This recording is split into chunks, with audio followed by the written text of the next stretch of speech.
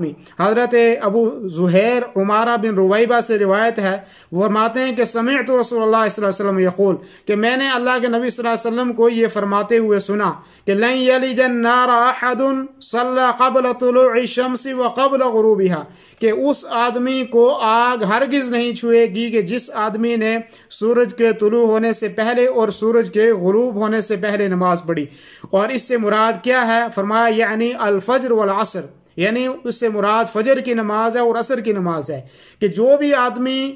فجر کی نماز کی اور عصر کی نماز کی محافظت کرے گا تو وہ آدمی آگ سے محفوظ رہے گا یعنی جہنم کی آگ سے بھی محفوظ رہے گا اور عمومی طور پہ دنیا کی آگ سے بھی وہ آدمی جو ہے وہ محفوظ رہے گا اور کیونکہ اس آدمی نے فجر کی نماز اور عصر کی نماز کی حفاظت کی ہے تو گویا کہ اللہ کے نبی صلی اللہ علیہ وسلم نے جہنم سے بچنے کے اسباب میں سے ایک سبب یہ بھی جو ہے ہمیں بتایا کہ جو آدمی فجر کی نماز کی حفاظت حفاظت کرے گا، عصر کی نماز کی حفاظت کرے گا، ان دو نمازوں کا اہتمام کرے گا، ان کو پابندی کے ساتھ پڑھے گا اور فرمایا کہ ایسا آدمی جو ہے وہ آگ کے اندر، جہنم کے اندر داخل نہیں ہوگا، وہ آدمی جنت کے اندر داخل ہوگا۔